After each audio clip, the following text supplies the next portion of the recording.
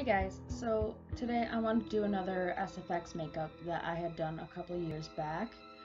Um, like I did uh, last week with the double fingers being cut off or whatever.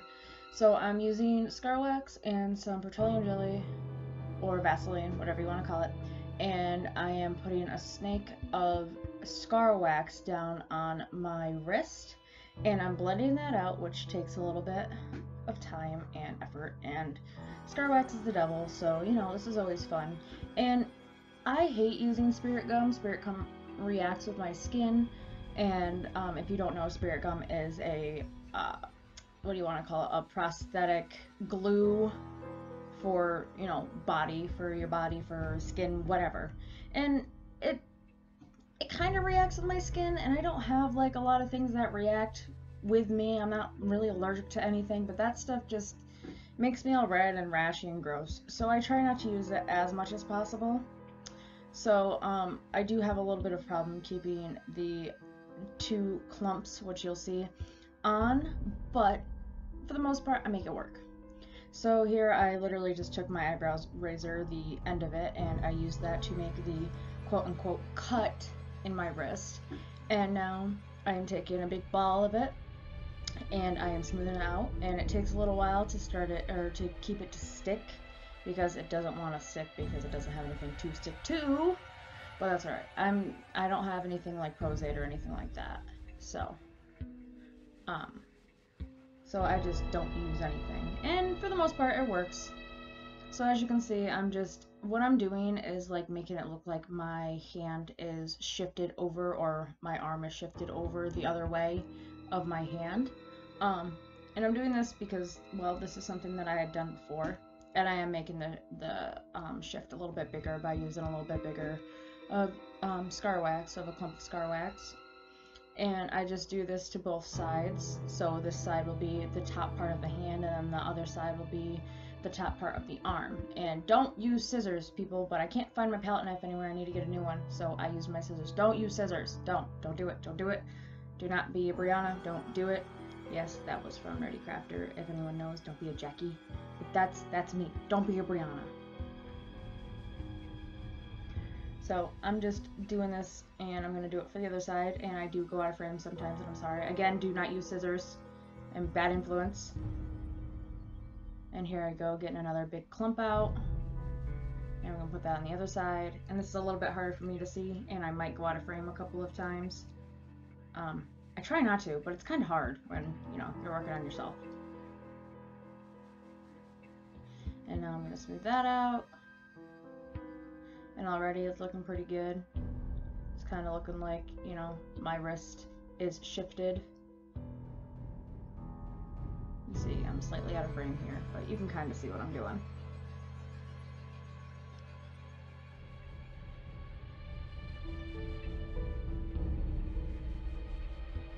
Again, using scissors, don't do it. Bad idea.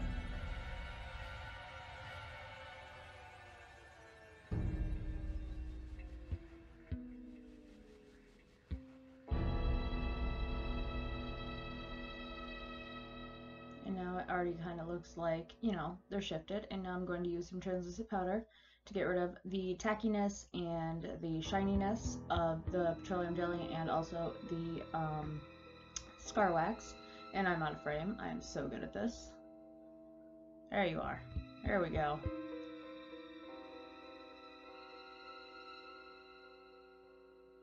And I'm just kind of smoothing it out again because I didn't like how the one side looked.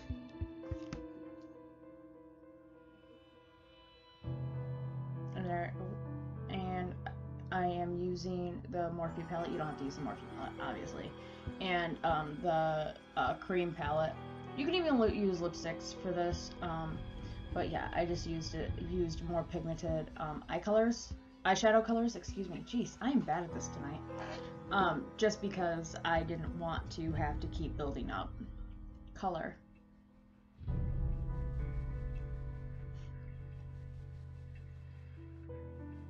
So I'm also using red and um, a dark brown from that cream palette right there. And then I'm using the two reds that you see right here all around to make it look irritated and bruised.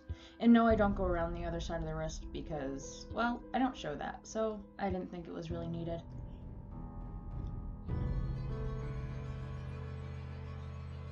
So after a while of doing this and then also fixing the um, the one nub that I didn't really like to look at, which you'll see I do kind of mess it up, but I, I fix it after.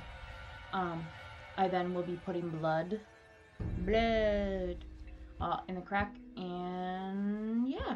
So for the most part, you know, it's pretty much done.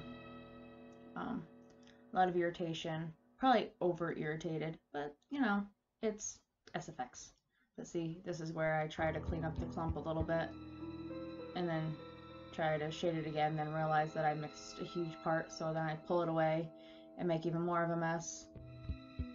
And then decide that that looks awful and I take a lot of it off. And then I use a um, makeup wipe which oh sorry first I put more color on it and then I'll take a makeup wipe and wipe off a buttload which I'm doing here but you can't see but a buttload of that makeup so it doesn't look so gross and then I put some shading down on it and then blood. And first I use a brush and put it in there, and then I'm just like, you know what? Nah. And then I dump it all on. I like a lot of blood. I'm gory. Whee! Blood. And then I just stipple it all over with my fingers. And we're pretty much done.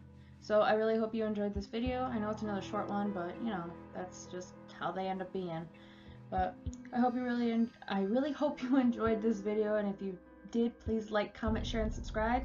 Hit that notification bell so you know the next time that I upload, and I will see you all in my next video. Bye!